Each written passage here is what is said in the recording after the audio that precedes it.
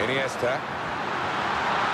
And here's the shot. Well, that is from the realms of footballing miracles. It's a brilliant clearance from the line. He is a defender, an out-and-out one. His instincts were fantastic there.